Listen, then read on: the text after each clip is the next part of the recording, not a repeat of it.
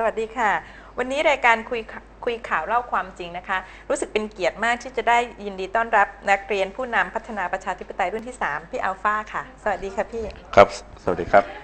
วันนี้พี่อัลฟามาคงไม่ได้มาคุยกันเรื่องธรรมดาแน่ครับๆวันนี้พี่อัลฟาจะมาเล่าถึงเรื่องราวที่เกิดขึ้นภายนอกประเทศก่อนครับข่าวต่างๆที่เกิดขึ้นนะครัคะบเริ่มจากตอนนี้ไม่มีข่าวอะไรฮอตเท่าประเทศอียิปต์ครับ ซึ่งเขาสามารถทำได้นะคะ ถึงในระดับนี้ยังไม่เบ็ดเสร็จเด็ดขาด แต่ก็ถือว่าเป็นนิดเป็นนิดหมายที่ดี เพราะว่าประชาชนแสดงพลังได้ได้อย่างดีเยี่ยมนะคะ และตอนนี้ก็เหมือนกับว่าทางท่านประธานาธิบดีของประเทศเขาก็เหมือนจะยอมยอมถอยแล้วนะคะ แต่ทีเนี้ยทั้งนี้ทั้งนั้นอำนาจเด็ดเสร็จเด็ดขาดก็ยังอยู่ที่ทหารอยู่ดีนะคะแล้วก็มาจับตามองกันต่อไปว่าเขาจะมีแนวทางอย่างไรต่อไปพี่อาฟ้าเล่าให้ฟังเลยค่ะ ครับ ก็คือจากกระแสข่าวการชุมนุมประท้วงขับไล่เอ่อผู้นำในแอฟริกาและตะวันออกกลางนะครับ ก็คือท่าทีล่าสุดเมื่อเมื่อวันวันวันนี้นะฮะโทษทีนะวันนี้วันพุธนะฮะพุธที่ 16 ทางอ่าเกี่ยวกับสถานการณ์ในอียิปต์นะครับ ทางอ่าสภากลาโหมของกองทัพอียิปต์ที่ตอนนี้นะฮะได้ทำหน้าที่บริหารประเทศชั่วคราวค่ะสุดท้ายก็ไม่พ้น ทหารทหารเนี่ยนะฮะนะคะ โดยโดยทางกองทัพก็เปิดเผยว่าจะปฏิรูปอ่ารัฐธรรมนูญของประเทศอียิปต์เขาเนี่ยให้แล้วเสร็จภายใน 10 วันแต่เราก็ต้องมาจับประเด็นว่าเร่งปฏิรูปรัฐธรรมนูญของประเทศภายใน 10 วันเนี่ยเหมือนเหมือนมีการ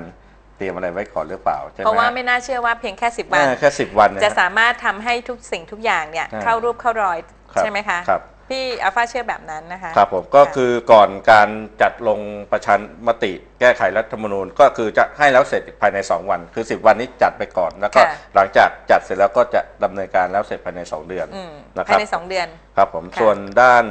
อ่านายกรัฐมนตรีอาเมดอ่าฟาซิสก็ได้ปรับครมในสัปดาห์นี้ด้วยนะครับก็เพื่อให้เพื่อนำอ่าฝ่ายค้านเนี่ยเข้าร่วมกับรัฐบาลด้วย ถ้าบ้านเราก็ลักษณะเหมือนรัฐบาล แห่งชาติปรองดองอะไรปรองนะดองครับผมแต่ทีนี้เราก็ไม่รู้นะคะว่าของเขาเนี่ยจริงใจในการทำขนาดไหนอะครับใช่ไหมคะเพราะว่าถ้าเกิดเขาจริงใจในการแก้ไขร่วมมือกันจริงหมายถึงทั้งฝ่ายค้านและรัฐบาลโดยที่ไม่มีเงื่อนไข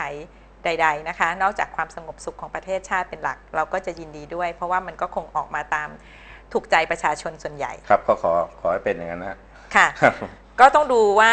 ทหารของเขาอะเอ่อ จะเป็นทหารประชาธิปไตยหรือเปล่า จะจริงใจขนาดไหนใช่ครับค่ะ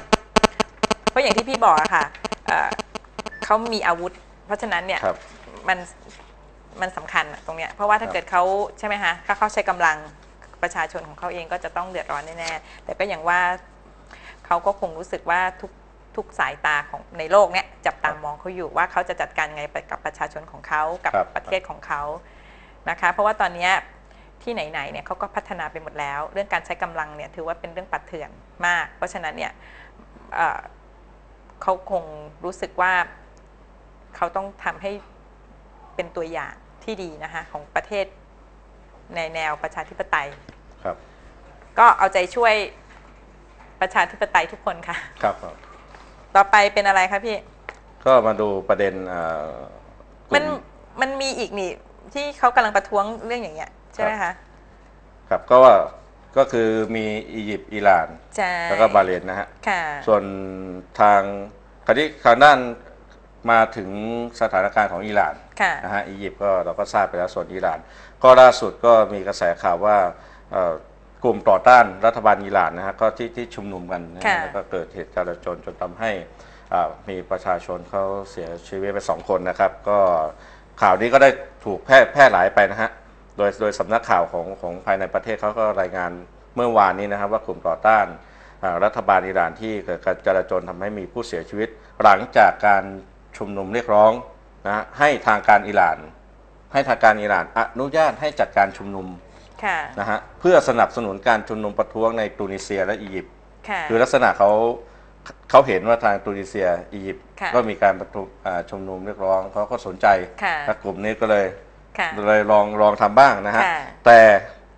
สุดท้ายก็ไม่พ้นคือรัฐบาลอิหร่านก็ต้องปฏิเสธค่ะการชุมนุมทุกประเภทผิดกฎหมาย ก็เหมือนกับบ้านเราบอกว่าผิดรัฐธรรมนูญค่ะใช่ไหมซึ่งเราก็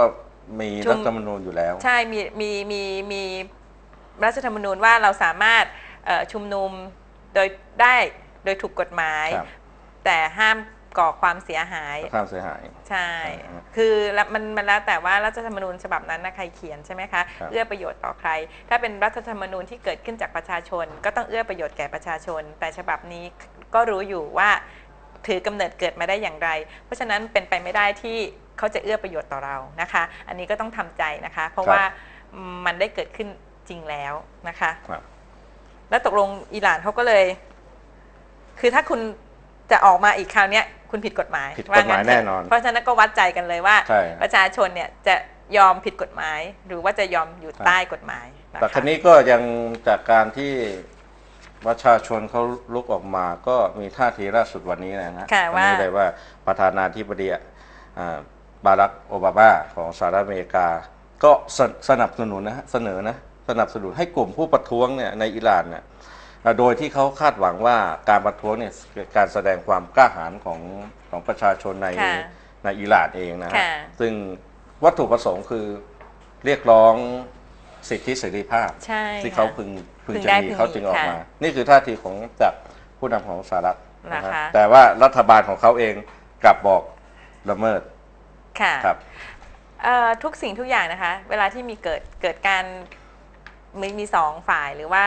สองคนออกความแสดงความคิดเห็นเนี่ยแน่นอนว่ามันจะต้องมีคนหนึงคิดอีกอย่างหนึ่งอีกคนคิดอีกอย่างหนึ่งแต่บางครั้งก็เหมือนการเล่นละครจัดฉากครับถ้าสมมุติเรื่องนี้หัวเรื่องเนี้มันมาจากเรื่องเดียวกันเขาก็เหมือนจะว่าคนหนึ่งเธอทำอันนี้นะ ฉันจะทำอันนี้นะอืมแต่เราพวกเดียวกันเนี่ยซึ่งตรงเนี้ยก็อย่าอย่าละเลย เพราะว่าเราก็เห็นตัวอย่างมาแล้วจากอืมอียิปต์นะคะว่าจริงๆแล้วเนี่ย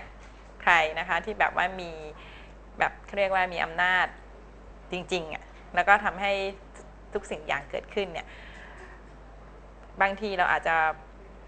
เพิ่งรู้อะว่าจริง ๆ แล้วเนี่ยอำนาจอำนาจประชาธิปไตยเนี่ย ประชาธิปไตยเป็นสิ่งที่ทุกคนต้องการ แต่จริง ๆ แล้วเนี่ยมันต้องอยู่ในขอบเขตของประเทศแต่ละประเทศ ไม่ใช่ว่าคุณถือว่าคุณเป็นใหญ่ที่สุดในอ่าหฮะมวดเนี้ยแล้วคุณก็จะยุ่งมันไปทุกประเทศครับที่มีระบบนี้กับคุณเนี่ยมันก็ไม่ครับถูกใช่ไหมคะใช่เพราะว่าบางทีเนี่ยมันเป็นการเอื้อประโยชน์ ซึ่งไม่ใช่หมายความว่าเป็นเนื้อแท้ของประชาธิปไตยนะคะก็ต้องจับตามองเรื่องอิหร่านนี้ต่อไป ครับผมก็ท่าทีล่าสุดอะคือการประท้วงภายในใจอีกแล้วก็ยังมีอีกหนึ่งประเทศที่เหมือนค่อย ๆ ต่อกันมา สุดท้ายจนมาถึงที่บาห์เรนนะฮะค่ะบาห์เรนจนคือวันนี้นะฮะคือผู้ประท้วงอะเป็นชาวชีอะห์นะฮะก็ยังปักหลักที่ที่กรุงเอ่อมานามาของบาห์เรนเองนะครับที่บริเวณอะ วงเวียนไข่มุกค่ะซึ่งล่าสุดผู้ชุมนุมจาก 2,000 คนก็ลดเหลือแค่เหลือครึ่งพันคน แต่พันคนนี้ก็คือไม่ได้ลดโดยโดยที่ถอยอะไรนะฮะ ก็คือว่าหมุนเวียนเพราะว่าเขาหยุดงานมานะฮะค่ะเขาหยุดงานมา เพราะว่าหยุดมาหลายวันที่ค่ะมาการชุมนุม เพราะว่าอ่าชาวชีอะห์ส่วนใหญ่ก็ชาวชีอะห์ส่วนใหญ่ก็เป็นประชาประชากรในในบาห์เรนเองนะฮะที่ไม่พอใจรัฐบาลของซูนีนะฮะค่ะที่เอ่อ ปิดโอกาส ปิดโอกาสเอ่อเรื่องที่อยู่อาศัย เรื่องการสาธารณสุข เรื่องการตำแหน่งของเอองานราชการ ซึ่งค่ะเขาต้องการให้นายกรัฐมนตรีของบาห์เรนนี่นะเอ่อออกจากออกจากการปกครอง ตั้งแต่ได้รับอะอ่าเอกราชจากอังกฤษเมื่อประมาณ 40 ปีที่แล้ว ปีค่ะประมาณพศ 2514ค่ะนะฮะ ก็เหมือนสอดคล้องกับทางอียิปต์เลยก็ ปกครองมาถึงตั้ง30กว่าปีใช่จะมาส่วนบาห์เรนนี่ก็ประมาณ 40 ปีนะค่ะประมาณ 34 ปี และยังรวมถึงการปล่อยตัวนักโทษ และร่างรัฐธรรมนูญใหม่ ซึ่งก็ใกล้เคียงกับบ้านเราใช่ไหมที่ตอนนี้ว่าต้องการให้ปล่อยตัวนักโทษ ใช่ค่ะ การต่อสู้อะค่ะครับมันมันเขาบอกมันเป็นศาสตร์ครับอย่างหนึ่งนะคะ ไม่ว่าจะเป็นต่อสู้ของเป็นศักดินาต่อสู้หรือ จะเป็นไพร่ต่อสู้นะคะ มันครับจะเป็นเหมือนสูตรสำเร็จรูป โดยที่ไม่มีต้องมีการถ่ายทอดกันทางการสั่งสอนครับนะคะ มันเป็นเหมือนธรรมชาติที่ต้องทำให้เป็นแบบนี้นะคะเขาเขาถ่ายทอดกันโดย โดยไม่ต้องมาสอนกันน่ะครับอธิบายไม่ถูกประมาณนั้นนะเราเองเราก็สู้กันแบบอืมแบบพื้นฐานเลยอะก็เหมือนเราเห็นที่เราคุยก็เรียกว่าโดมิโนใช่นะที่เราเราใช้ศัพท์กันตอนนี้ใช่โดมิโนล้มล้มทีละกระดานสุดท้ายก็เหลือ ตัวสุดท้ายอาจจะเป็นที่บ้านเราเลยเลยนี้ จะเป็นอย่างนั้นไหมค่ะ ค่ะโอเคค่ะนี่จะเบาๆหน่อยนะฮะครับผม เป็นผู้หญิงค่ะ ต้องพูดอ๋อเบาเพราะๆนะฮะๆอ่าเออนึกว่าจะเป็นเขาเรียกอะไรนาลีขี่ม้าขาวมาช่วยใช่ไหมถ้าทำได้ยินดีนะคะครับเป็นคนผมรู้สึกว่าถ้าจะมีความสามารถที่จะทำอะไรให้ให้กับคนเสื้อแดงได้เนี่ยครับยินดีทุกเรื่องค่ะครับนะคะครับผมครับเนี่ย แต่ขอเป็นม้าอ๋อก็ไกลๆไปหน่อยเนาะมาหนักสนามม้านั่งเรือก็ไม่ไกลนะฮะโอเคค่ะพี่ต่อมาบ้านใกล้ๆบ้านเราละครับครับ ตอนนี้เป็นไงบ้างคะพี่ ก็สถานการณ์กัมพูชาก็ยังมีท่าทีของต่างประเทศต่างๆนะล่าสุดอืมล่าสุดเมื่อล่าสุดทางอ่าโฆษกกระทรวงอ่าต่างประเทศของกัมพูชาก็มีการโต้ตอบค่ะ กระทรวงอ่ารัฐมนตรีกระทรวงต่างประเทศของเราเหมือนกันค่ะชื่อเราคงไม่ต้องบอกเราคงจะรู้กันอยู่ค่ะแล้วนะฮะครับก็เกี่ยวกับอ่าโต้ตอบว่าไทยประสบความสำเร็จนะฮะในในการชี้แจงต่ออ่าคณะรัฐมนตรีความมั่นคงแห่งสหประชาชาติอ่าเรื่องการพิจารณาอะไรต่างๆนะครับ ส่วนท่าทีของอาของของจีนนะฮะของประเทศจีนอ่าคือถือว่าเป็นประชาคมอ่าระหว่างประเทศนะฮะ กก็โดยย้ำพันธะว่าร่วมกับประชาคมระหว่างประเทศที่จะแก้ไขปัญหาพิพาทเขต แดนไทยและกัมพูชานะครับ โดยยินดีและสนับสนุนสนับสนุนความพยายามที่จะไกลเกลี่ยของอาเซียนนะครับ เพื่อลดความตึงเครียดระหว่างไทยกับกัมพูชานะครับ เพื่อมีบทบาทที่สร้างสรรค์ในการแก้ไขปัญหาต่างๆนะครับ แล้วก็เพื่อจะได้มีภาพรวมความสัมพันธ์ยาวสันติภาพและเสถียรภาพของภูมิภาค อันนี้เป็นของประเทศจีนนะฮะ ซึ่งเขามองอย่างนี้นะฮะ ครับ ค่ะ ใครๆก็อยากจะไกลเกลี่ยค่ะ ครับผม มีแต่พวกเรากันเองที่อยากให้มันเกิดเรื่องนะคะยุคเพราะว่าคลั่งนะใช่ค่ะต้องการต้องคือมันยุคนี้แล้วอะครับพี่ใช่ไหมอืมมันมีแต่ว่าคนเจอหน้ากันยิ้มแย้มต่อกัน อยากให้เรา ร่วมเดินทางไปด้วยกันอย่างสวยงาม แต่ปรากฏว่าคนบางคนก็กะอยากจะให้เราเนี่ย เอาแต่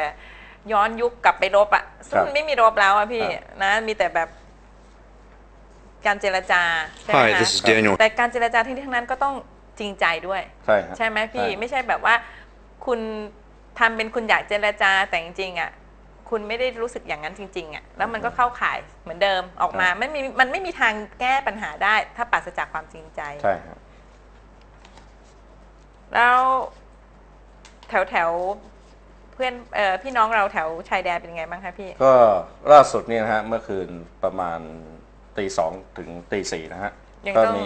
ก็ก็ยังมีมีมีมีอยู่บ้างมีเสียงอยู่บ้างโดยท่านอ่านายกอบตเสาธงหินที่อำเภอกันทรักษ์จังหวัดศรีสะเกดนะครับ ก็ระบุว่ายังมีเสียงเสียงปืนใหญ่และใช่เสียงระเบิดมามาตลอดเวลา แต่ว่าเป็นเสียงที่อยู่บริเวณอ่าช่อง 8 หลัก ซึ่งเป็น เป็นพื้นที่ที่ยังไม่มีการปักหลักพื้นที่ 4.6 ตารางกิโลเมตรอะไรนะแต่อืมแต่ทางทางทางเราไม่ได้มีการตอบโต้อะไรไป เพราะถือว่าอ๋อไม่ได้ตกมาฝั่งเรา หมายถึงว่าเขายิงมาไม่ถึง หรือว่าเขายิงไม่ถึงหรือว่าเขาอาจจะตรงนั้นเราไม่รู้แต่มีเสียงนะฮะเราเราเราก็ไม่ทราบว่าเกิดจากเสียงอะไร แต่ก็ก็ไม่มีการโต้ตอบกันครับผมค่ะก็ดีแล้วนะคะก็ยุติไปด้วยดีเพราะนะว่าฮะไม่งั้นก็เดี๋ยวจะใช่ไหมคะครับไม่จบผมไม่สิ้นสักทีครับเพราะว่าตอนนี้เขาเป็นลักษณะเหมือนว่าตอนเนี้ยหยุดยิงก่อน แล้วก็ครับเดี๋ยวจะมีการเจรจา แล้วครับเดี๋ยวเราค่อยว่ากันอีกทีค่นึอยงว่ากันว่าอีกทีจะเอายังไงนะคะครับตอนนี้ก็มีคนยื่นที่จะมาขอช่วยหมายถึงเป็นตัวกลางเป็นอะไรอย่างนี้ แต่ทั้งนี้ทั้งนั้นนะคะ มันก็ต้องขึ้นอยู่กับอ่ารัฐบาลทั้งสองฝ่ายนะคะเอ่อว่าทั้งสองฝ่ายเนี่ยจะขึ้นจิตใจของคุณเนี่ยจะจริงใจในการเจรจาครั้งเนี้ยขนาดไหน ไม่ใช่ไม่ไม่ได้ว่าแต่ว่าทางของเรานะคะ ทางของทางเขมรเอง นะคะครับท่านฮุนเซนเองนะคะก็ต้องแบบแสดงความจริงใจ ตอนนี้คิดว่าแสดงการแสดงความจริงใจก็คือไม่ยิงแบบมันถึงว่ายิงมาไม่ถึงเนี่ยก็ก็คือเหมือนแย่ๆแต่ยังไม่มาจริงๆอะไรครับอย่างก็เงี้ยต้องดูดูติดตามกันไปนะนะฮะก็ค่ะสุดท้ายก็อยากให้ประชาจชบนด้วยดีได้รับบาดเจ็บหรือเสียชีวิตอะไรแล้วกันเนาะจริง ๆ ค่ะ คือทั้ไม่งว่าทั้จะงเป็นคนของเราเองและใช่คนของเขา